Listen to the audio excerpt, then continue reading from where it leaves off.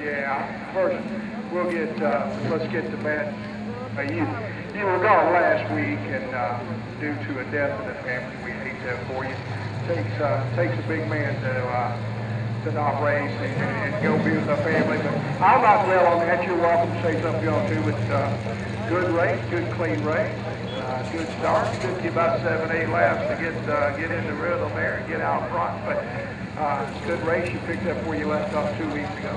Yeah, I appreciate it. Uh, last week I hated win. I think family comes over his old race cars any day. But uh, I'd like to uh, thank all these boys who've been helping me. And, uh, I'd like to thank all these vets this weekend. Uh, remember all of them. Uh, I'd like to thank all the crowd too. Pretty good crowd around here. All right. Anything else? I'd like to, uh, yeah, I thank MWNA Construction and Mark Fire Department down there going. Uh, they helped. All right. How about hand for John Hill? Uh, number 19 to Victory Lane takes home the hardware.